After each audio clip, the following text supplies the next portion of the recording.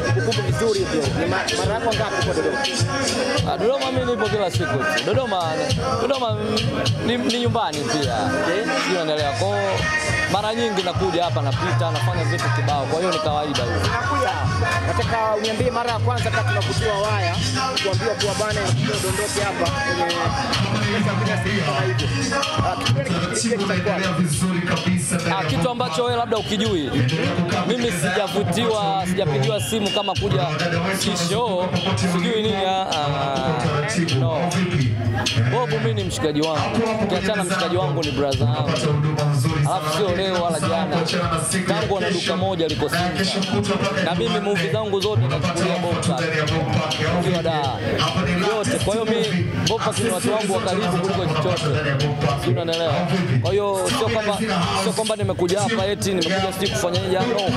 Mimi ni kama mmoja wa watu wa Bomba, yani kama niko ndani ya timu ya Bomba, si unanielewa? Kwa hiyo ni unyama, nimekuja kumsupport brother zangu.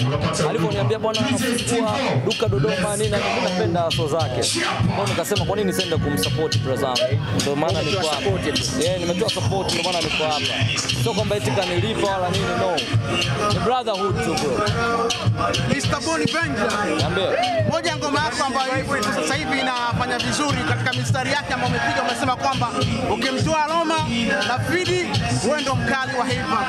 Pengine umemtaja Roma kwa sababu mshikaji wako unaogopa ku- kuongea ukweli wasanii wengine ulivyowakataa, ama ni, ni ile kutuku show langu? Mimi sidhani kama kuna ubaya mtu kujimegea shavu. Kama nimesema mi bora, mi bora kweli. Ukitaka utesti ubora wangu njoo, nakaribishwa. Lakini Eh. ukiangalia ukiangalia Roma, Roma naona kama umemtaja kama mshikaji tu, maana kuna wasanii wengine ni wakali zaidi ya Roma. Mimi kumtaja, mimi nikiwa naandika mistari hakuna mtu akunipangia, namtaja namtaka mimi, sio anaomtaka mashabiki. Mimi ndo nimeandika mistari, sijaandikiwa. Kwa hiyo kama niliona Roma anafaa, nimemweka, ni mimi ndo nimeamua. Wewe ni ukweli, Roma ni Roma ni mkali kwa upande wako. Mimi namuona Roma mkali, tunaenda kwenye numbers. Ukiona muongelea mtu mkali, lete numbers mezani, kwa sababu hata anavyokuambia mimi noma, mimi noma kweli. Hata ndikuli kwenye namba zangu zote noma, ndio ma YouTube huko mapi noma. Ndio maana nikikwambia hata Roma mkali ni pia ni noma. Ukizungumza kuhusu Rostam, namba zetu si Rostam, msanii gani wa hip hop anazifika. Kwa hiyo tukisema sisi noma ni noma kweli. Sawa. Swali langu la mwisho ni hapa. Ah, katika vitu ambavyo umezungumza, kuna interview ambayo nimesikia juzi, umefanya interview. Unasema huwezi kuingia studio kwa ajili ya kufanya ngoma za kudisi watu. Lakini Mr. Boniventure kuna mistari ambayo unadisi wasanii wenzako. Jamdisi msanii yoyote bro. Kuna mistari ambayo mimi nimesikia. Uliandika wewe au mimi? Uliandika wewe au mimi? Umeandika wewe. Ah, kama niliandika mimi ndo nakwambia sijamdisi mtu, kwa sababu nimemtaja mtu wapi? Ushasikia nimemtaja fulani fulani wapi? Kumtaja mtu lakini umepita. Utakuwa sikiliza vizuri hapa bro, pambanua vitu. Ukiona hujataja kitu, maana yake ni fumbo hilo. Kwenye hip hop fumbo ni kitu ambavyo ni vya kawaida. Sijamtaja msanii yote na sina beef na msanii yote na sina muda wowote wa kupoteza beef na msanii yote wa bongo. Niache kutafuta hela niendekeze beef na msanii wa bongo. Stamina, tunamalizia.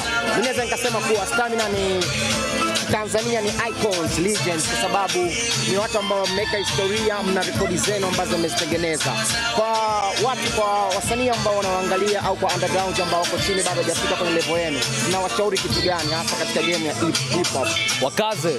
Unaniona nimesimama hapa natoa Kabwela elfu mbili na tisa hii elfu mbili na ishirini na moja na hamna mwaka uliona mimi nimeshuka kimziki, sio? unanielewa. Kwa hiyo ni kukaza afu kujijua na kujitambua. Huwezi nikuta kwenye maskendo ya kijingajinga, huwezi kuta sijafanya chochote mimi, unavyoona mwili wangu sinaona, mimi niko simple tu, ila nachokifanya ni mziki peke yake. Kwa maana yake nimeimplement maisha yangu kwenye mziki wangu. Fanya hivyo, wekeza maisha yako kwenye mziki wako, ndio kitu unachokipenda? Eh, fanya kwa weredi na kwa asilimia mia, vitu vitawezekana. Kuhusu habari za kutoka kutotoka, mipango ya Mungu bro.